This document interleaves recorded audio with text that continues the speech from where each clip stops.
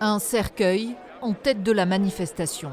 Parce que M. Blanquer, il enterre l'éducation nationale. Le ministre de l'Éducation nationale était directement visé ce matin par les enseignants grévistes pour sa gestion de la crise sanitaire.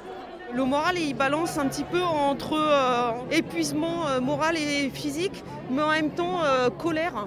Euh, par, par l'attitude du, euh, du ministre à chaque fois qui continue à dire tout va bien, tout va bien, vous êtes choyés alors qu'on sait bien sur le terrain que ce n'est pas le cas.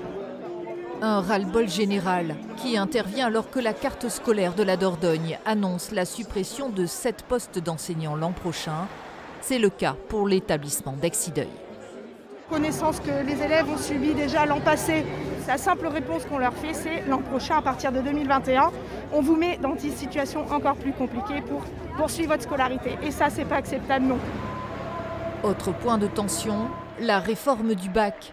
En signe d'apaisement, le ministère a annulé il y a quelques jours les épreuves de spécialité prévues en mars. Ça ne nous satisfait pas non plus parce qu'on est passé au contrôle continu.